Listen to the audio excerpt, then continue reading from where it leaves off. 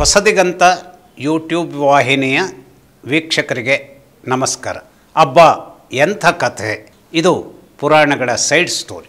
ಈ ಮಾಲಿಕೆಯಲ್ಲಿ ಮಧು ಕೈಠಬರು ಇವರ ಬಗೆಗಿನ ಕಥೆಯನ್ನು ಹೇಳ್ತಾ ಇದ್ದೇನೆ. ಈ ಮಧು ಮಧು ಕೈಠಬರು ಇವರು ರಾಕ್ಷಸರೋ ಅಥವಾ ದೇವತೆಗಳಲ್ಲೇ ವಿಶಿಷ್ಟವಾದಂತಹ ಒಂದು ಧನ್ಯತೆಯೊಂದಿಗೆ ದೈವತ್ವವನ್ನು ರೂಪಿಸಿಕೊಂಡಂಥವರು, ಇವರು ಯಾವುದೋ ಒಂದು ಸನ್ನಿವೇಶದ ಕಾರಣಕ್ಕಾಗಿ ರೂಪುಗೊಂಡಂತಹ ಜೀವ ಸಂವಿಧಾನಗಳು ಅಥವಾ ಇವರು ವಿಷ್ಣುವಿನ ಮಕ್ಕಳು, ಇವೆಲ್ಲವೂ ಕಲಸು ಮೇಲೋಗರವಾಗುವಂತಹ ಸ್ಥಿತಿಯಲ್ಲಿ ಈ ಕಥೆ ಏನಾಗುತ್ತೆ? ತನ್ನ ರೂಪವನ್ನು ಪಡ್ಕೊಳ್ಳುತ್ತೆ. ವಿಷ್ಣು ದಿವ್ಯವಾದಂತಹ ಮಾಯೆಯಲ್ಲಿ ಜಗತ್ತನ್ನೇ ಆವರಿಸಿಕೊಂಡು, ಯಾಕೆಂದರೆ ಒಂದು ಹಂತದಲ್ಲಿ ನಮಗೆಲ್ಲರಿಗೂ ಗೊತ್ತು ಪ್ರಳಯ ಆಗುವಂತಹ ಸಂದರ್ಭ ನಿರ್ಮಾಣ ಆದಾಗ ಇಡೀ ಜಗತ್ತು ನೀರಿನಿಂದ ತುಂಬಿಕೊಳ್ಳುತ್ತೆ. ಅಲ್ಲಿ ಸ್ಪೇಸ್ ಅನ್ನುವಂಥದ್ದು ಏನು? ಏನಿತ್ತು? ಯಾವ ಕಾರಣಕ್ಕಾಗಿತ್ತು? ಏನು ಉಳ್ಕೊಳ್ಳುತ್ತೆ? ಏನು ಉಳಿದುಕೊಳ್ಳುವುದರ ಮೂಲಕವಾಗಿ ಇನ್ನೇನೋ ಬರಬೇಕಾದಂಥದ್ದು ಬರುತ್ತೆ? ಇದು ಯಾವುದೂ ನಮ್ಮ ವೈಚಾರಿಕತೆಗೆ ಸಿಗದೇ ಹೋದಂತಹ ಸಂದರ್ಭವಾಗಿರುತ್ತೆ. ಯಾಕೆಂದರೆ ಇಲ್ಲಿ ಯಾರೂ ಇಲ್ಲ.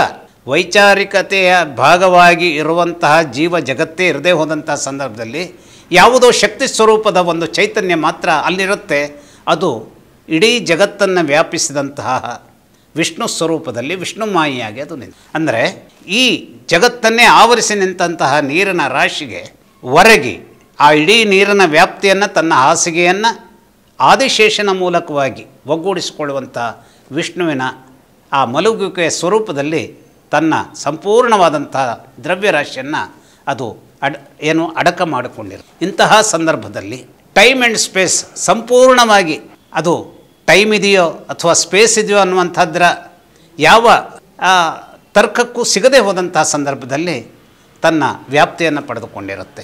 ವಿಷ್ಣು ಕೂಡ ಮಹಾವಿಷ್ಣು ಚೈತನ್ಯದಾಯಕನಾಗಿದ್ದರೂ ಕೂಡ ಒಂದು ರೀತಿಯ ಚೈತನ್ಯವೇ ಇರದಂತಹ ಸ್ವರೂಪದಲ್ಲಿಯೂ ಆ ಒಂದು ನಿದ್ದೆಯ ಮಂಪರಿಗೆ ಜಾರಿದಂತಹ ಕ್ಷಣವೋ ಅಥವಾ ಇನ್ನೊಂದು ಹೊಸತೇನಕ್ಕೋ ಬೇಕಾದಂತಹ ತಯಾರಿಗಾಗಿನ ಪೂರ್ವ ಯೋಚನೆಯಾಗಿ ಮಾಡುವಂತಹ ಯೋಚನೆಯ ಸಂದರ್ಭವು ಏನೂ ತಿಳಿದೇ ಹೋ ತಿಳಿಲಿಕ್ಕೆ ಸಾಧ್ಯವಾಗದೇ ಹೋದಂಥ ಸಂದರ್ಭದಲ್ಲಿ ಏನಾಗುತ್ತೆ? ವಿಷ್ಣುವಿನ ನಾಭಿಯ ಮೂಲಕವಾಗಿ ವಿಕಸಿತಗೊಂಡಂತಹ ಕಮಲ ಅರಳುಕೊಳ್ಳುತ್ತೆ. ಕಮಲ ಅರಳುಕೊಂಡಿತು ಅನ್ನುವಂತಹದ್ರ ಅರ್ಥ ಏನು? ಕಮಲ ಎಲ್ಲಿ ಅರಳುಕೊಳ್ಳುತ್ತೆ? ಕಮಲಕ್ಕೆ ಸಾಧಾರಣವಾಗಿ ಅದರ ಜಾಗ ಯಾವುದು? ಎಲ್ಲಿ ಕೆಸರು ತುಂಬಿದೆಯೋ ಆ ಜಾಗದಲ್ಲಿ ಕಮಲ ಅರಳುಕೊಳ್ಳುತ್ತೆ. ಹಾಗಾದರೆ ಪದ್ಮನಾಭ ಅಂದರೆ ತನ್ನ ಹೊಕ್ಕಳಲ್ಲಿ, ತನ್ನ ನಾಭಿಯಲ್ಲಿ ಕಮಲವನ್ನು ಅರಳಿಸಿಕೊಂಡಂತಹ ಪದ್ಮನಾಭನ ಹೊಟ್ಟೆಯಲ್ಲಿ ಕೇವಲ ಕೆಸರು ತುಂಬಿಕೊಂಡಿದೆ ಅಂತ ಅರ್ಥನೋ?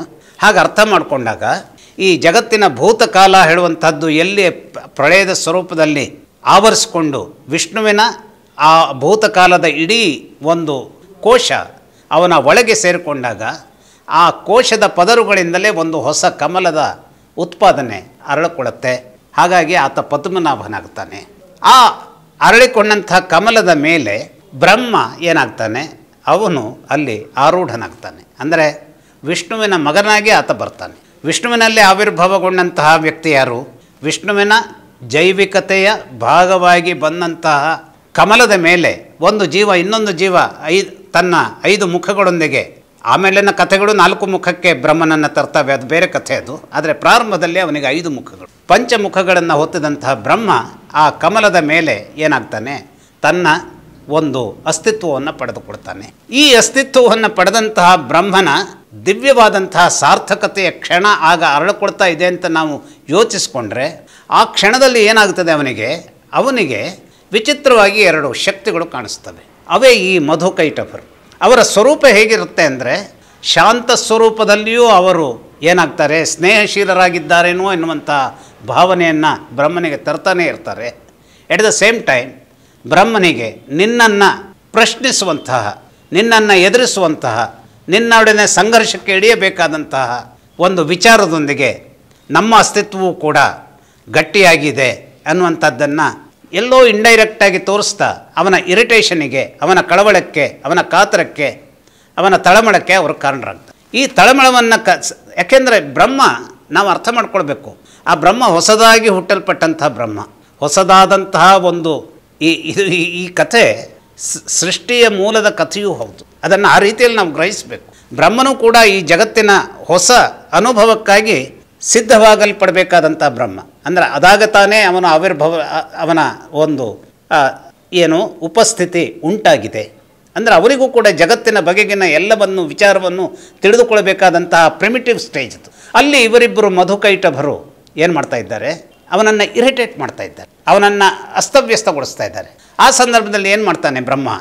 ಈ ತಾನು ಎಲ್ಲಿ ಸ್ಥಾಪಿತನಾಗಿದ್ದೇನೋ ಆ ಕಮಲದ ಒಂದು ಎಸಳನ್ನು ಸ್ವಲ್ಪ ಆತ ಕೈಯಿಂದ ಹೀಗೆ ಏನು ಮಾಡ್ತಾನೆ, ಅದನ್ನು ಎಳೆದಾಡ್ತಾನೆ. ಆ ಎಳೆತಕ್ಕೆ, ಆ ಎಳೆದಾಡುವಿಕೆ ಕ್ರಿಯೆಗೆ ವಿಷ್ಣು ಎಚ್ಚರಗೊಳ್ತಾನೆ ವಿಷ್ಣು ಎಚ್ಚರಗೊಂಡಾಗ ಆಶ್ಚರ್ಯ ಆಗುತ್ತೆ. ಅಲ್ಲಿ ಎದುರಿನಲ್ಲಿ ಯಾವ ಸೃಷ್ಟಿಯೂ ಇಲ್ಲಿ ಇಲ್ಲವೇ ಇಲ್ಲ ಅಂತ ತಿಳಿದುಕೊಂಡಂತಹ ವಿಷ್ಣುವಿಗೆ ಈ ಮಧುಕೈಟಭರನ್ನು ಕಂಡಾಗ ಆಶ್ಚರ್ಯ ಆಗುತ್ತೆ. ಇದು ಯಾವುದು? ಈ ಶಕ್ತಿ ಯಾವುದು? ಅಂದರೆ ನಾವಿಲ್ಲಿ ಸ್ಪಷ್ಟವಾಗಿ ಅರ್ಥ ಮಾಡ್ಕೊಳ್ಬೇಕು.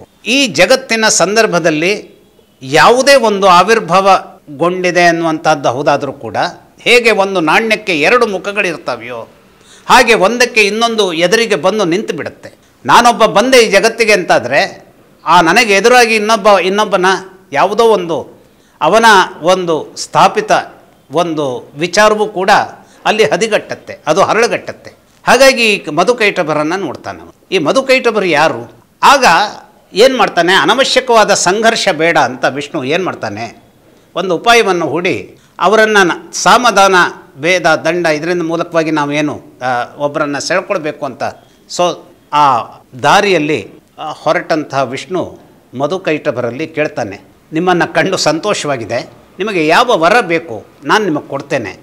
ನೀವು ಆ ವರದ ಮೂಲಕವಾಗಿ ಅತ್ಯುತ್ತಮವಾದಂತಹ ಒಂದು ಜೀವ ಜಗತ್ತಿನ ಶಕ್ತಿಯಾಗಿ ಬೆಳೆಯಬಹುದು. ಇದೇ ರೀತಿಯ ಒಂದು ಅಸ್ತಿತ್ವವನ್ನು ಇಟ್ಟುಕೊಳ್ಬಹುದು. ಅನುಗ್ರಹ ಮಾಡೋದಕ್ಕೆ ನಾನು ರೆಡಿ ಇದ್ದೇನೆ ಅಂತ ಹೇಳ್ತಾರೆ. ಆಗ ಅವರಿಗೆ ನಗು ಬರುತ್ತೆ. ನೀನು ಯಾರು ನನಗೆ, ನಮ್ಮ, ನಮಗೆ ನೀನು ವರ ಕೊಡೋದಕ್ಕೆ? ಹಾಗೆ ನೋಡಿದರೆ ನಿನ್ನ ಎದುರಾಗಿ ನಿಂತಂಥವರು ನಾವೇ ನಿನಗೆ ವರವನ್ನು ಕೊಡುವಂಥ ಶಕ್ತಿಯಲ್ಲಿದ್ದೇವೆ. ನೀನು ಯಾರು ನನಗೆ ವರ ಕೊಡೋದಕ್ಕೆ? ವರವನ್ನೇ ಕೊಡುವಂಥದ್ದಾದರೆ ಒಂದು ನಮಗೆ ಬಹಳ ಕ್ಲಿಷ್ಟಮಯವಾದಂಥ ಒಂದು ವಿಚಾರ ಕಾಣಿಸ್ತಾ ಇದೆ. ಆ ಅರಿವು ನಮ್ಮ ಮೆದುಳಿಗೆ ಬರ್ತಾ ಇಲ್ಲ. ಈ ಸಕಲ ಈ ಒಂದು ಏನು ಈ ಸ್ಪೇಸ್ ಇದೆ.